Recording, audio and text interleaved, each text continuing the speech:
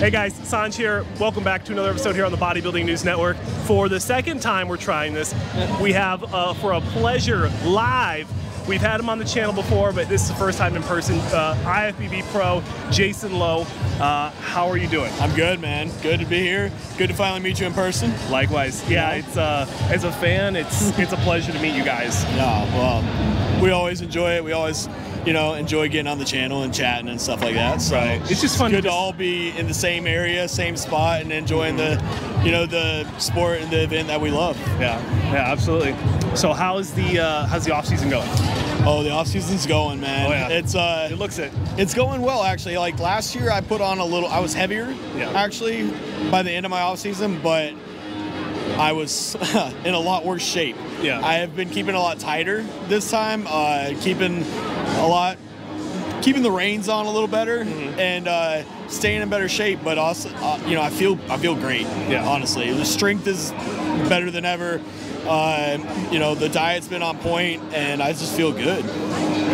I'll say still doing the uh, what highway walks.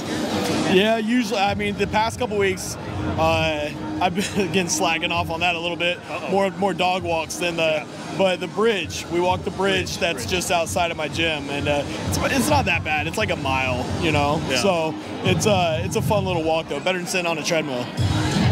Yeah, yeah. Well. It's uh, treadmill's not fun. Yeah.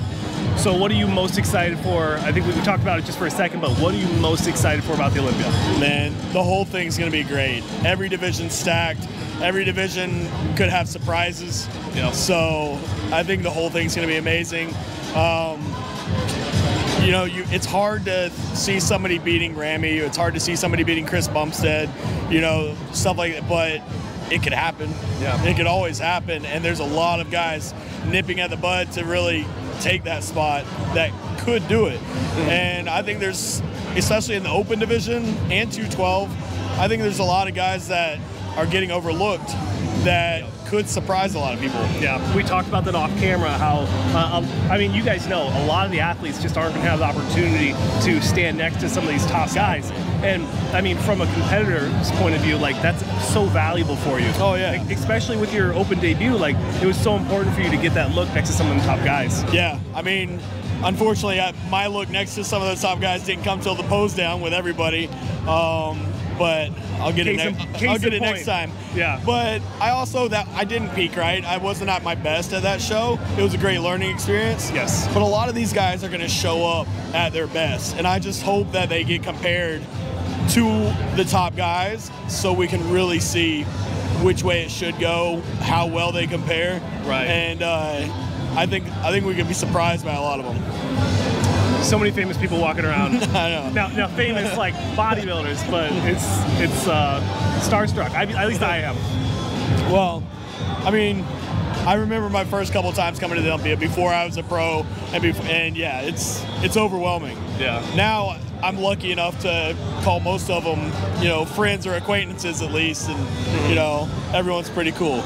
That's exciting. Uh, as a former 212 guy, what, you, what are you looking at for that top six? Like, who do you think is going to be landing in there? Man, it's hard. Is is it it's that hard. open? It re- well, I mean, obviously, I'm gonna say Sean, uh, Kamal. Yeah. Uh, Keone's looking nutty, man. Uh, this is the really best sharp. he's ever looked, Agreed. and I hope he nails the peak We all want because I definitely, if he nails the peak, I definitely see him in that top five, top six, easy.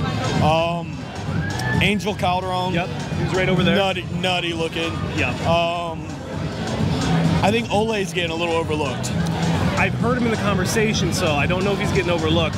Um, He's he looks crazy though. Yeah. Mu- uh, possibly the most amount of like muscle mass Yeah. out of any of these guys. And then I gotta say my my boy Bo. Yeah, You know, Bo, yeah. Um, Bo Lewis. I actually was just with him doing some posing with him, and he's looking good, man. Wow. He's looking good, and he hasn't even fully filled out yet, but he's crispy, he's hard, he's dry, and uh, I think he could shock some people too. yeah. And we're missing one very, very important person. I know. Oh. Who won the Texas, I believe. I know I'm 212. forgetting somebody. Who am I? Who am I Um, forgetting? I'm drawing a blank as well. This is terrible. Who are we forgetting? I know it's probably somebody like He's been on the channel. idiot. I think he, we, he's done an interview with us.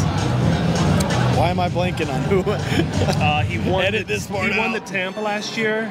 oh man. I mean, I can't edit. This is this is the real world. Um, Yeah, I'm like- Bajjo, Kerrith Bajjo. okay. Duh. I was. I, was, I know. I was like, Oh, we've, now- I've, he's been on the channel so many times. now I feel terrible because we were, I was actually just talking to Kerrith. oh, really? Is he out here? Yeah, he's up near the front. Oh my God, I gotta find him. Kerrith is amazing. I think Kerrith could really. That's why you gem. say top five, top six. It's hard.